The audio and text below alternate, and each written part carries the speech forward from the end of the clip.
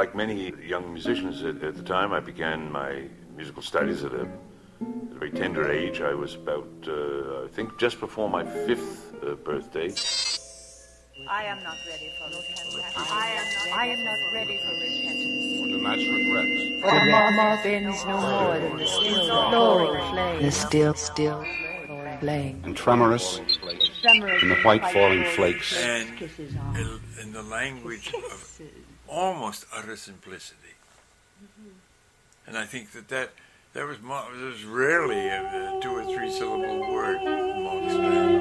And uh, I admired that immensely because that gives the composer a chance.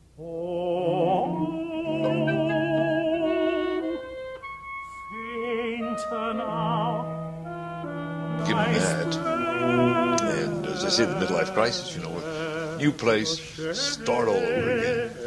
And uh, now at 45, sunny California sounds a lot better than it did when I was a young, struggling composer. And how did it seem with the 20 year distance? I mean, had, it, had the intellectual life of the town picked up? Here? Not that I can discern, no.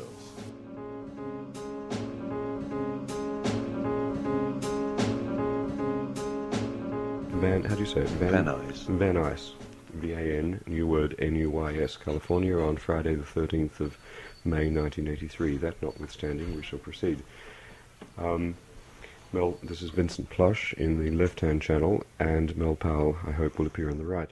This is a tape recorded interview on December 11th, uh, 1997, with Mel Powell at his home in Van Nuys. Am I saying that correctly? Van. Nuys or, or Sherman. Oaks. Sherman Oaks, it is, isn't it? Yes. Uh, California. Um, it is um, a continuation, in a way, of interviews that were done in 1983 Good. uh, for the Yale. Oral History Project in American Music. Good morning, Mel. Good morning. It's wonderful to be here with you. I'm glad you're here. Long overdue reunion. I must tell you very quickly that uh, the Sherman Oaks is the is supposed to be sort of the Beverly Hills of the valley.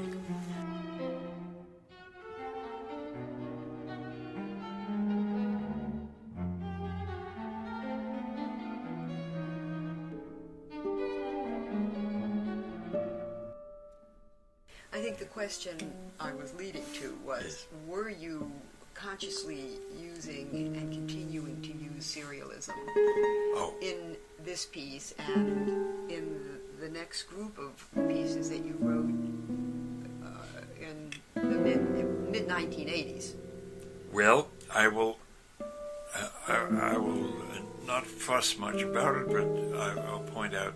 uh, First of all, the answer would be no if one defines serialism fairly strictly. At the same time, there's a complexity involved here, and that is that the techniques and processes and perhaps even mode of musical thought could not have been without Schoenberg and 12 tone thinking and serialism. And I, I became giddy, uh, nervous, giddy, holding on to chair, trying to recreate that moment. The, but uh, absolutely ravishing. It was the most beautiful, but insane, utterly insane.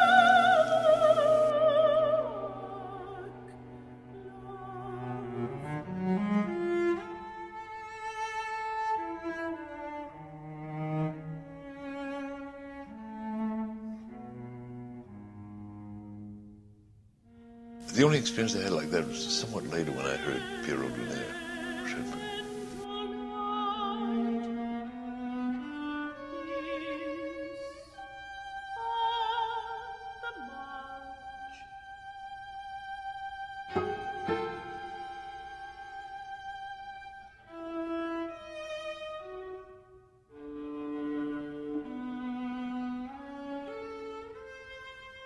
But he was a great aficionado, what I later came to know of as jazz. Mind you, how, how sheltered this had been.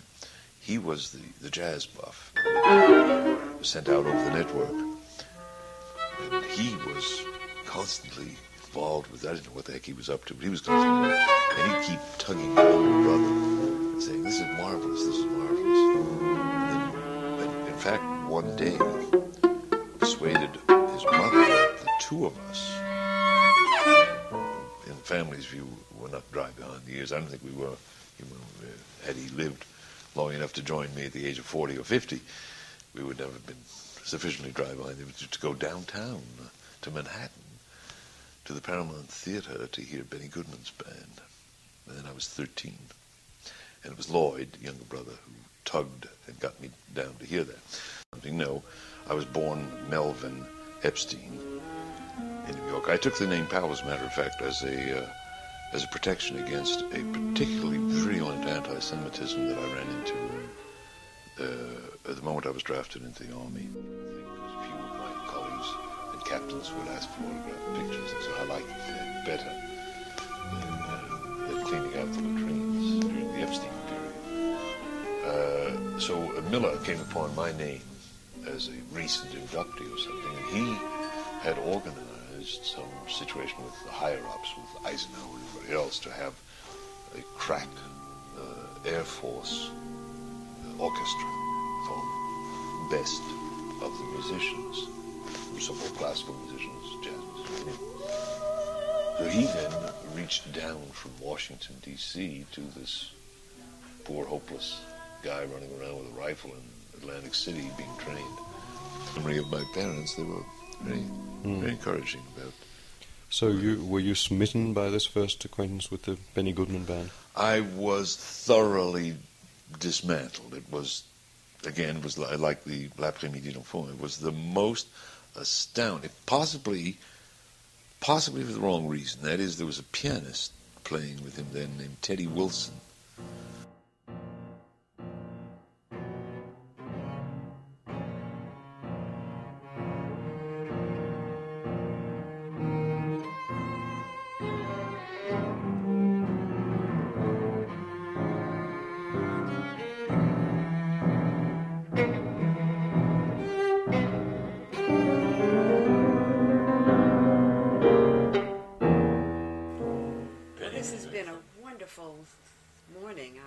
Much enjoyed Good. talking to you. I, I knew that I would, and I wanted to thank you so much for your patience in answering all of my Well, questions. By the way, I have to congratulate you. You know, uh, it's not that I'm interviewed every day, but uh, I have been interviewed uh, many times, and they're really a chore. They really are a chore because Mm-hmm. uh, you almost feel the interviewer needs a remedial, you know, to know what questions to ask. But Well- oh, with you, this is a pleasure. Well, you know. thank you very much. We're much. talking about somebody who knows what's cooking. And thank you so much for being part of this project.